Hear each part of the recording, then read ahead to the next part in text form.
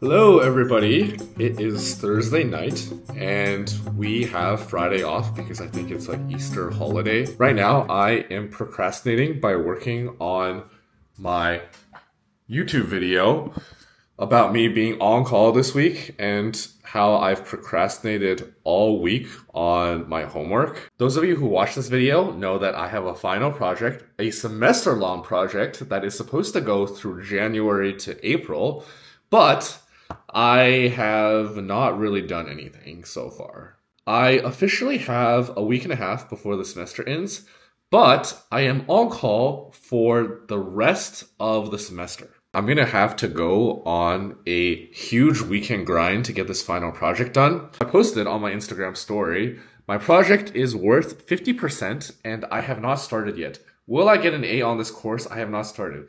70% of you guys said yes. I appreciate you guys. One of those people who said no was my sister. So screw you guys. I'm going to grind for the rest of the weekend. And I also want to prove to all those people out there that even if you aren't the perfect scholarly student who takes beautiful notes and reviews everything on the day, you can still do well in the class, even if you procrastinate and leave everything for uh, last week. And uh, speaking of it right now, I'm starting to panic a little bit. So uh, let me finish this video, head to bed, and tomorrow, get started on this project.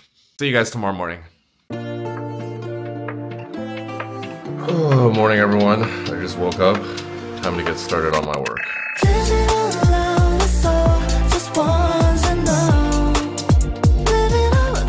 Oh my gosh, it's got paged like seven pages all at the same time, and it was like a crazy bad issue. And now, uh, I totally forgot, but I'm supposed to grab lunch with um, some of my teammates today. I'm just gonna leave some of the pages here as pending because we've already done all the actions. We just have to wait for it. Going to, oh, just got pinged again.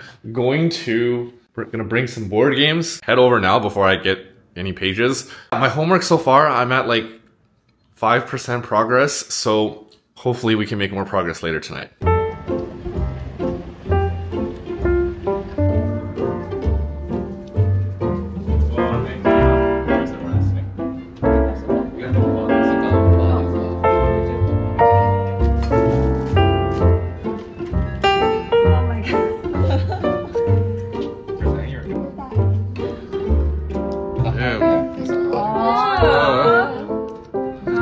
Blossoms, but like pink. Close enough. Oh my goodness, I am back. We actually had such a serious situation on call wise, and then lunch went for quite a while. So now it is 5:30 p.m. and I really need to finish the scripting for uh, my final project and really get started on that. All right, serious focus mode especially if I want to watch the playoffs tomorrow for basketball. So let's seriously get on top of this right now. My sister, I think, is going to Japan tomorrow with my mom. She finished her final exams on Thursday. And basically, right now, she texted me and is asking me to pick her up so that she can go to the airport tomorrow through my place. I live really close to the airport, so that's the basic gist of it. Hello. Uh, do you want me to come pick you up now? You're gonna come now? Yeah. Okay, sure. Just let me know when you're here. Okay, I'll be there in like 20 minutes. Okay. All right. Um, sounds good. Bye. Okay, goodbye. All right, whatever. Let's just go. Uh, this final project, I'm screwed anyways. Hopefully I can still get an A, but it is what it is. All right. I think this is a good time to go and pick up my sister because I did a decent amount of work. I guess this is not really a break because I'm still driving, but at least it is like giving me time. Oh shoot. This guy almost crashed into me. That guy almost crashed into me. It's like a very tight window in this parking lot.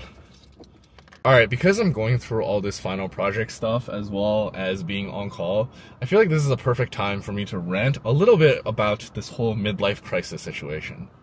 Someone once told me, number one, if you know what your passion is, that's super valuable, pursue that at all costs. Makes sense. Number two, if you don't know what your passion is, then what would help you to figure out if you're going in the right direction is if you are doing things that provides you with more flexibility so that you can explore more. Now, I feel like in general, for most people, they belong in category number two. I feel like I'm in category number two as well. And one litmus test that I always give myself is are the activities that I'm doing providing me with more flexibility and allowing me to learn more and more?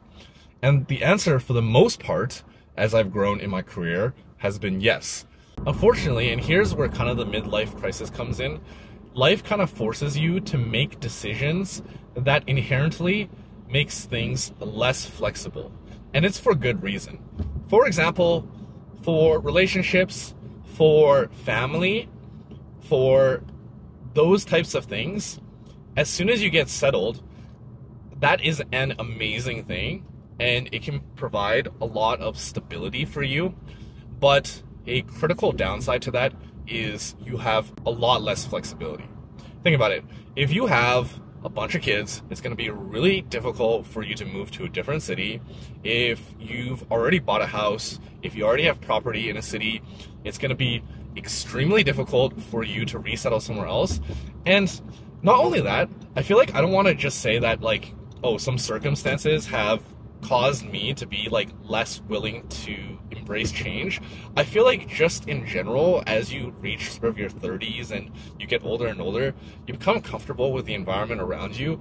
And compared to your early 20s, you're way less willing to take risk because you have something to lose.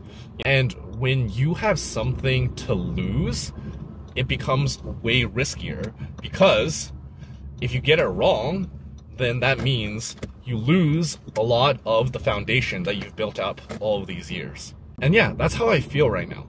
I've made some decisions. I've kind of figured out and learned more about myself in terms of the things I like, the things I don't like. I definitely do not like going out at all, going out late at night, disrupting my like sort of usual routine in terms of work and things like that you know, when you're younger, you think like, oh, I can go drinking and do all these things. I remember situations where, you know, I was in I did like an exchange in Cambridge. In one night, I played badminton, went to London on the train, the last train to London, then went to this club, then had no sleep whatsoever, went to Bath and a bunch of these like little towns, and then went back to uh, London to explore a bit more, still no sleep, then took the night train back to Cambridge, and this was the span of Friday night, Saturday, Sunday, and then Monday, where I had no sleep whatsoever, went back to the research lab that I had in exchange for and continued my work there. Now, if I were to do that today, I would honestly be miserable. But since I've already had that experience in sort of my like early 20s, it just for me is something that's a part of me already and something that I recognize is like a very valuable memory and experience. Not necessarily something that I would decide to do today. And purely from the fact like of me getting older, you even though I understand a lot of like sort of the reasons why a younger folk would do something, I would not be at this point in my life brave enough to do that particular thing. Because of all that, it also makes me doubt if I understand myself well enough. Like maybe the decisions I'm making is going in a direction that actually doesn't suit me at all, or I'm just not talented enough to execute on the ideas or ambitions that I currently have, which is totally okay. When people just give the blanket advice of pursue your passions, I think the one missing key detail that most people gloss over or don't mention is that that takes huge guts. And I feel like, in particular, if you're pursuing something that's against the traditional career grain, it is a huge challenge on not only yourself, your mental spirit, but all the people around you if you look at success stories, like for example, Jimmy O Yang or like Simu Liu or like I'm just trying to think like Steve Jobs, things like that. They are success stories because they are the outlier, not necessarily because it is actually the common situation. I feel like it's really easy for successful people to look with the benefit of hindsight and be like, just do it, just pursue your passion, take that risk. But in actuality, there's def- definitely a huge amount of survivorship bias there, and the people who get to write the books are the people who are who got lucky, made the odds, and were able to go against the grain, challenge sort of some societal pressures on certain things, and pursue their passion that way, and took huge risk, but allowed it to sort of pay off in a really big way. And I don't know. I feel like I would be really unwilling to do that. And it scares me to death that I'm already making some decisions that is taking way too much risk that like I would currently be willing to accept at this point in my life. I don't know. I feel like a lot of people say like, "Oh, I have no regrets in life," and for me, that's just not true. Okay, that's my rant for this video. This midlife crisis is gonna continue. Yeah, let's pick up my sister and then get back to studying.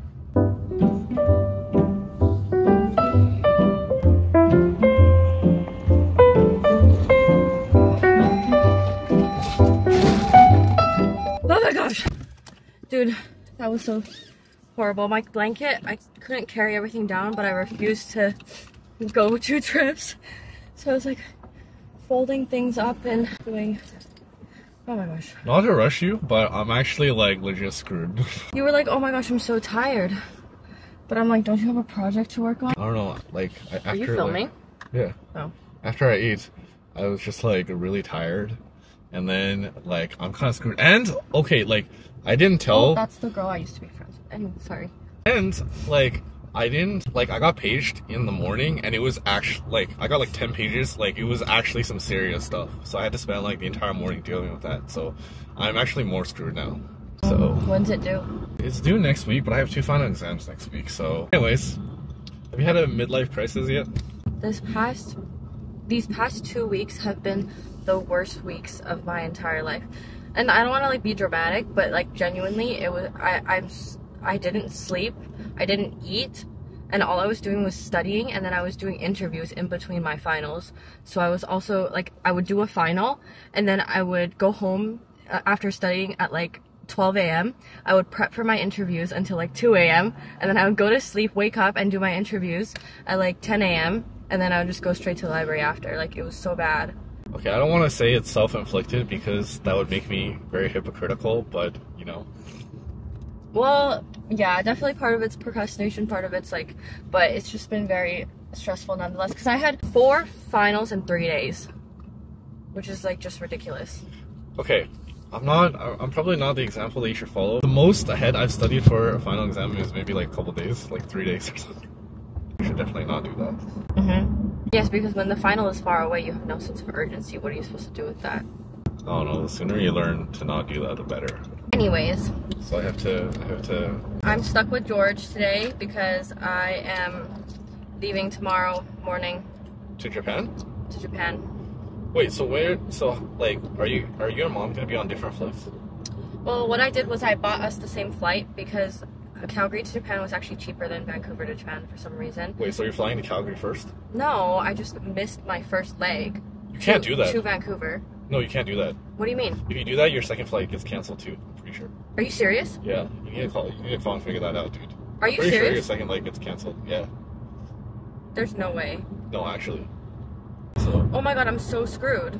call the airline today. Wait, I didn't know that they did that. Well, that's stupid. Uh, are you panicking right now or something? Yeah, I am panicking. Okay. Uh, all right, we're just gonna end this right here because my sister is panicking.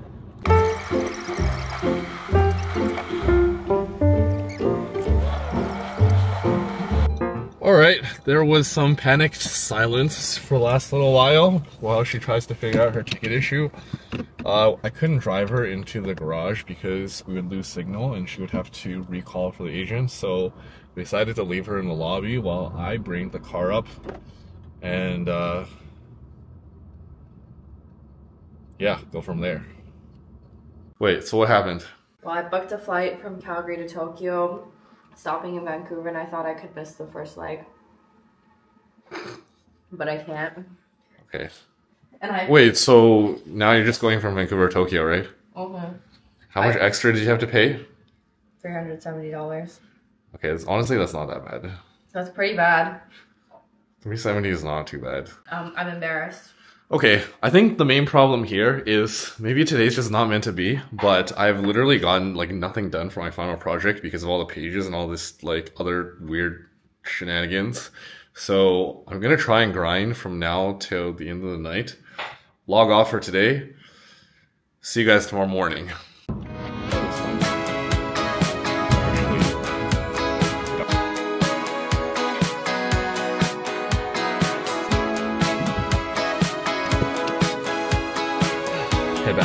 Oh my goodness, I keep getting paged. And also as the playoffs, I'm watching the playoffs, trying to do my homework. I have my homework set up over there. And then I also have my work laptop over here so that I can deal with the page as well.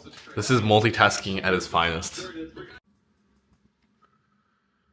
Oh my gosh. I am 48 hours into this thing, Friday, Saturday. It's gonna be Sunday tomorrow. This vlog is already lasting way too long, so I'm just gonna end it off as a part one for the first 48 hours, and then do the part two 48 hours uh, in the next vlog. I'm honestly so tired right now. It's only 10:30 and I'm still not even halfway done my final project. This is so so so so so bad. It is what it is. Mentally reset tomorrow and get back into it. See you guys.